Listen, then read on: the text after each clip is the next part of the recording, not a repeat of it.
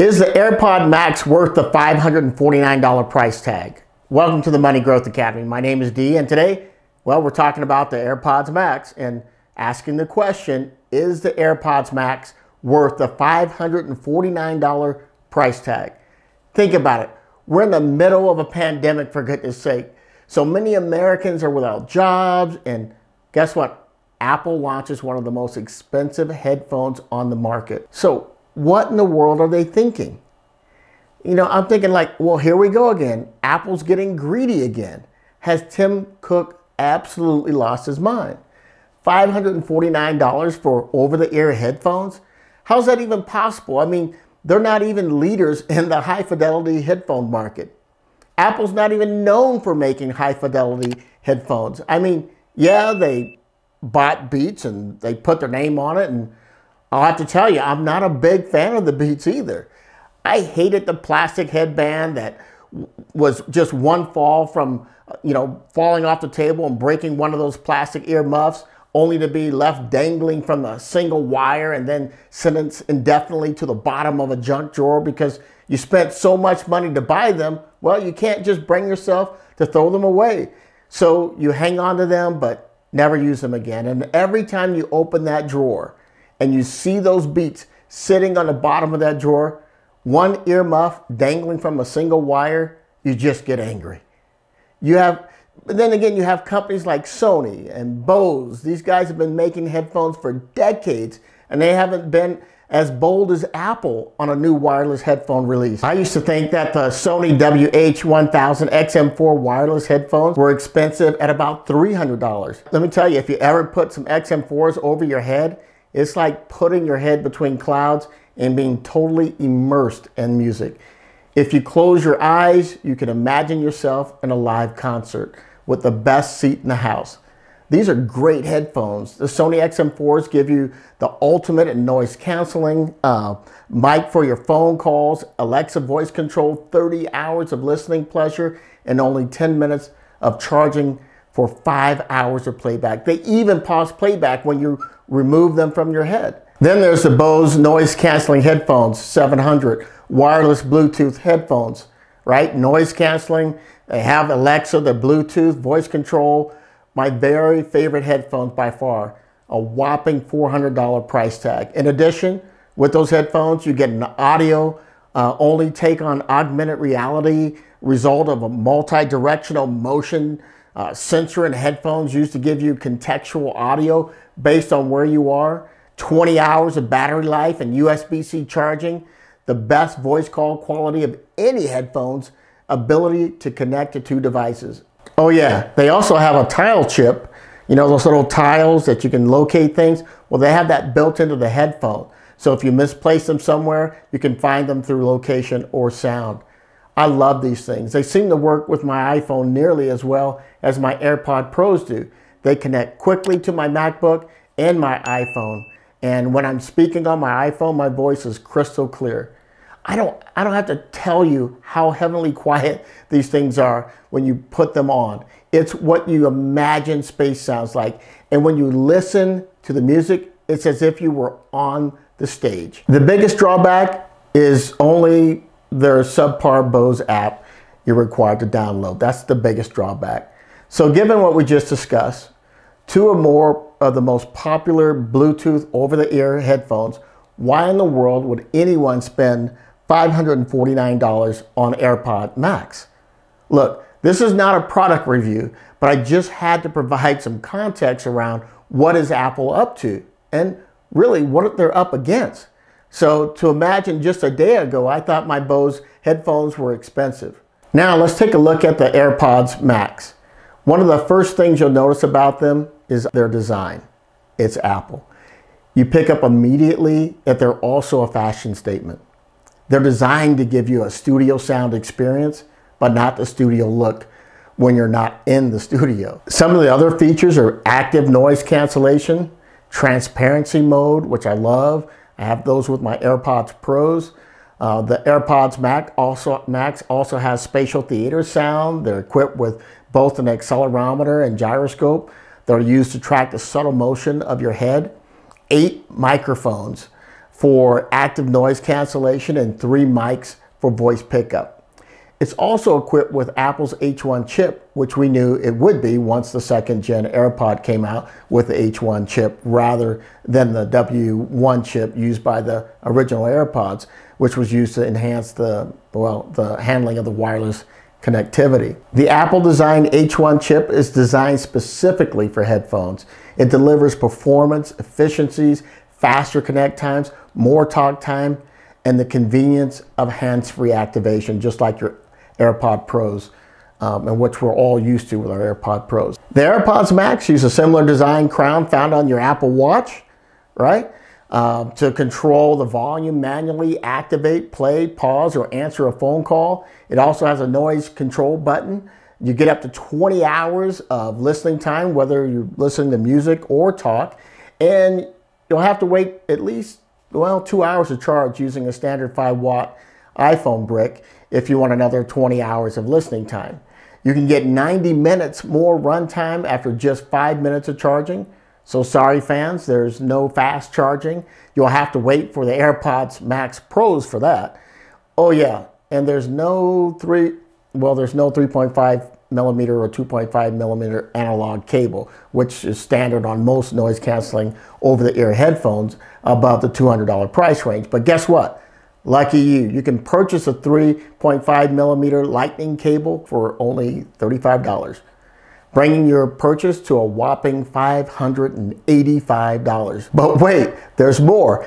It also comes with a smart all but eh, partial case that looks a lot like a purse for you know for the ear cups and uh, that well they're supposed to be designed to help preserve your battery and and save your charge and ultra low power state I'm just trying to imagine what that mesh headband is going to look like after going in and out of backpacks for a year.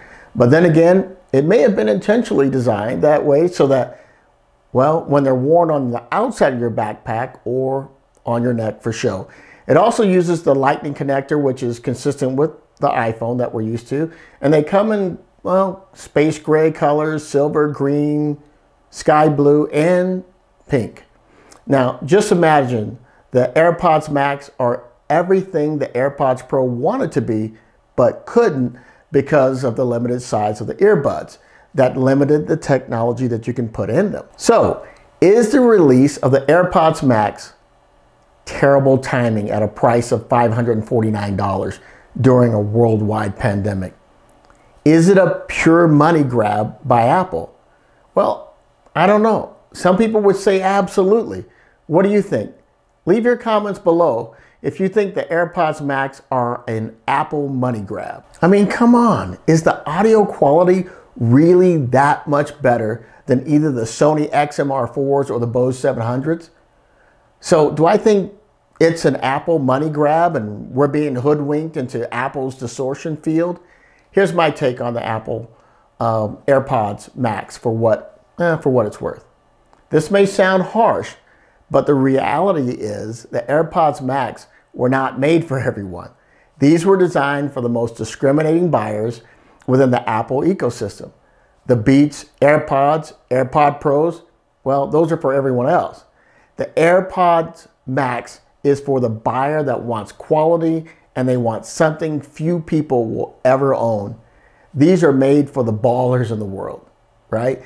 They want something few others can afford. So imagine seeing a pair of AirPods Max in a public or in the wild will be an attention getter for sure. They'll rarely be seen, but when you do see them, they will definitely get your attention and definitely get your curiosity. Don't get mad at Apple. Remember, when they first launched the iPhone, how it was priced compared to all other mobile phones. So for an Apple fan and an investor, the AirPods Max are the right product at the right time for the right customer.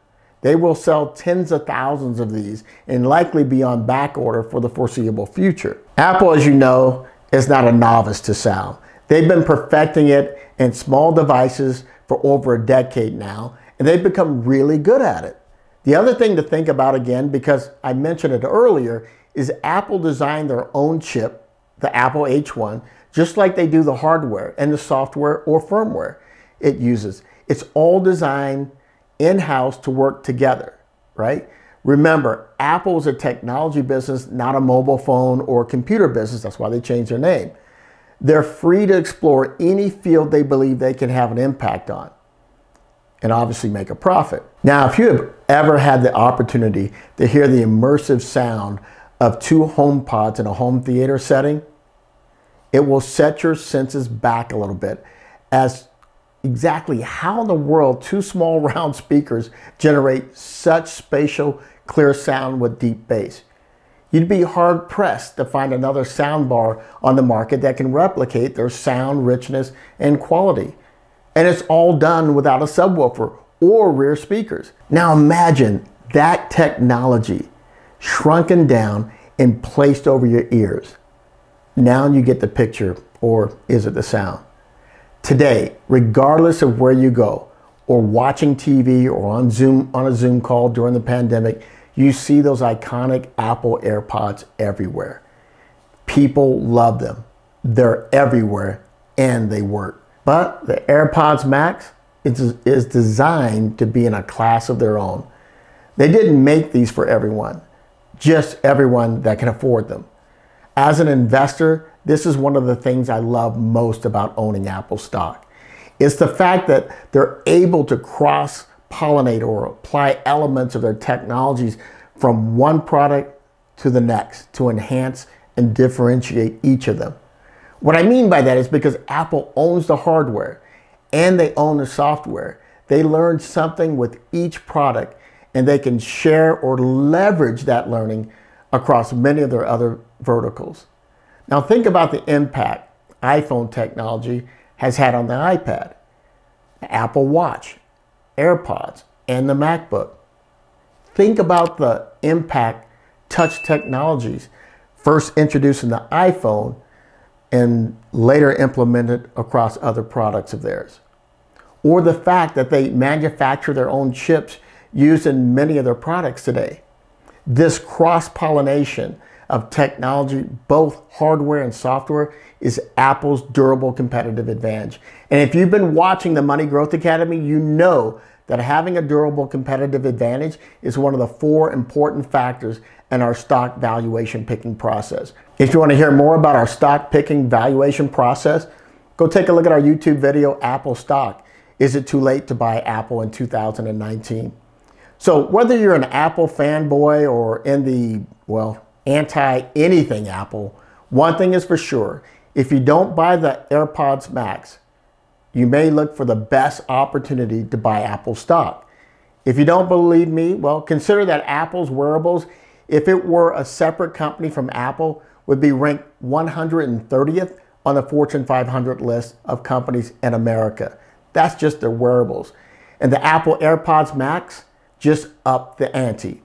Apple's wearables, home, and accessory sales have increased the most of its all of its other products, 8.71% average quarter over quarter average, and nearly 35% on average year over year percent change. So as I say, if you can't beat them, join them. Or, well, you can sit on the sidelines and watch others get rich around you. And now that Apple's stock has split, it may just be becoming more affordable to the new as well as the old investor that would like to take a bite out of the apple. Now, make sure to leave a comment below to know what your thoughts are. We'd love to know what your thoughts are on the new AirPods Max or if you plan on buying them in the near future. We'll see you next time.